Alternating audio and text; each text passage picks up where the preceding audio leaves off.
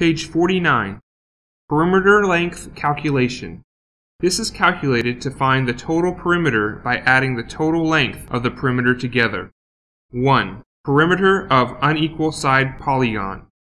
Total length equals L1 plus L2 plus L3 plus Ln. 2. Perimeter of equal side polygon. Total length equals n times L. Define. L equals perimeter. n equals number of sides. L equals length of side. Page 50.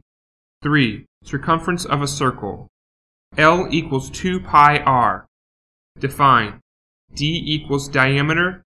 R equals radius. 4. Circumference of an ellipse.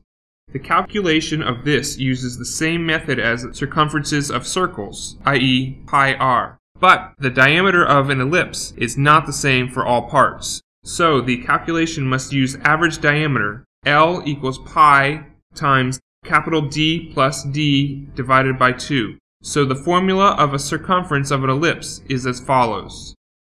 L equals pi times capital D plus D divided by 2. Define. L equals circumference of ellipse. D equals larger diameter. Lowercase d equals smaller diameter.